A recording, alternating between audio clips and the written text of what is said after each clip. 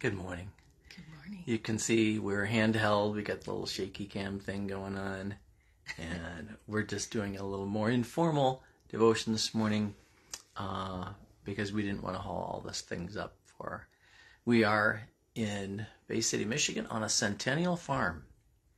Uh, been in the same family for, I think, More than more than hundred. way more than 100 years. I think more than 150 years. And um, that's pretty cool. So, very special family. And uh, celebrating our family Christmas.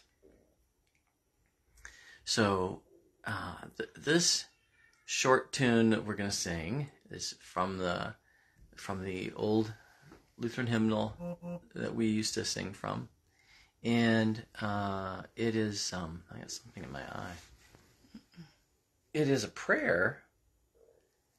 We we did a hymn version of this yesterday, but this is a prayer I have often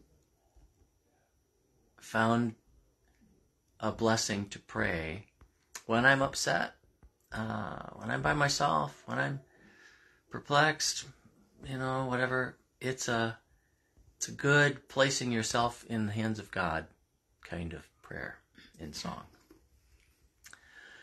Did I pick the right note before? I don't Do remember. you think it was good for you? I don't. As long as it worked for you. Mm-hmm. Yeah, that'll work.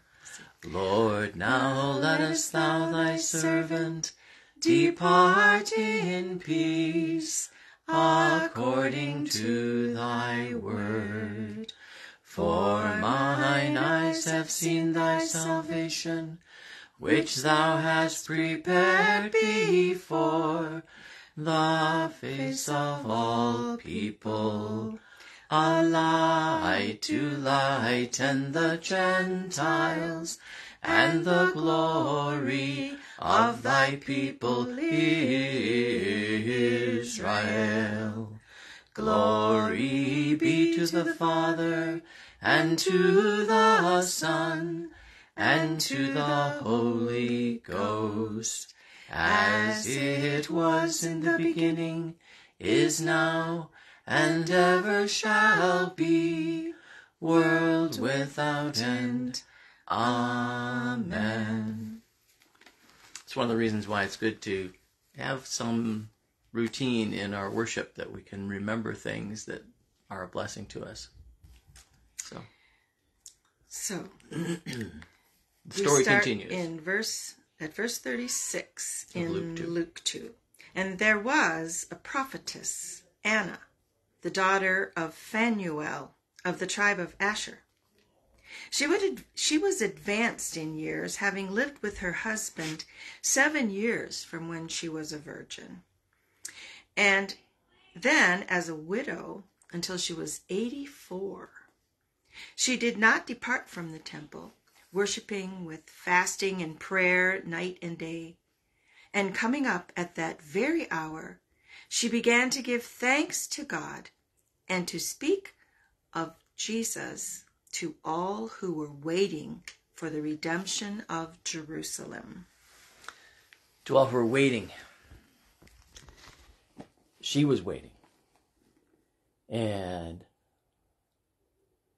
and her waiting, you could see, took the form of spending her days in God's house.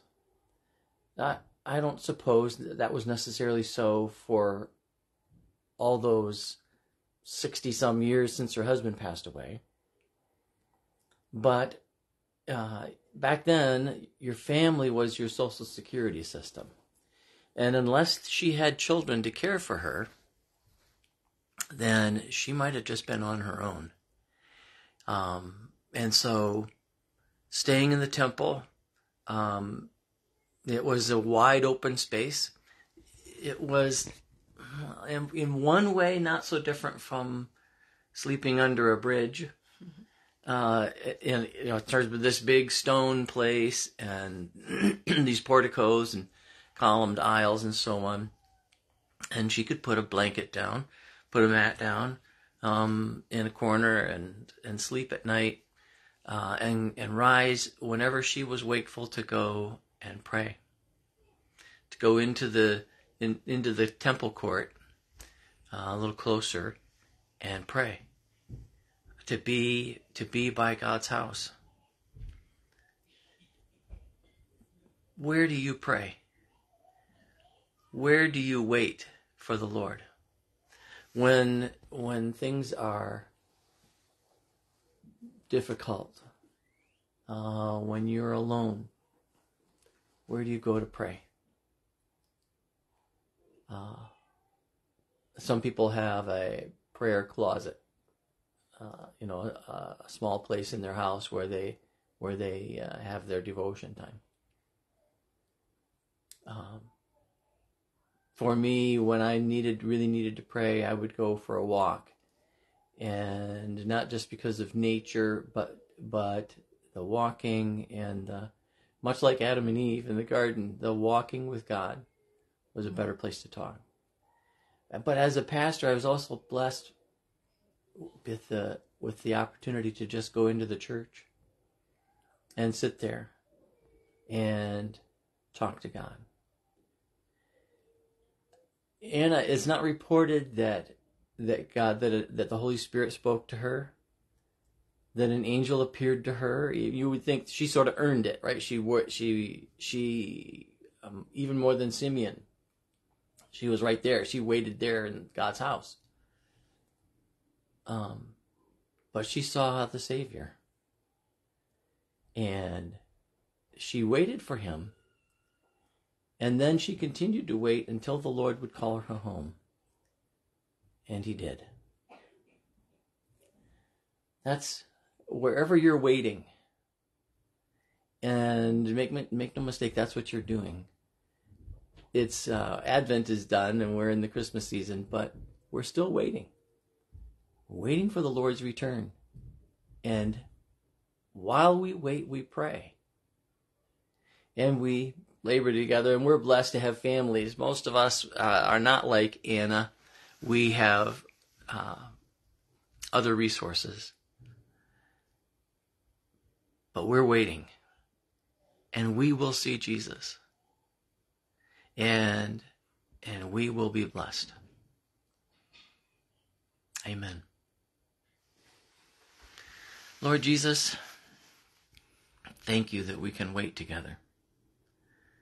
Thank you that as you told the disciples, you would not leave us alone, but you would send your Spirit, the Comforter, the Paraclete, the one who comes alongside.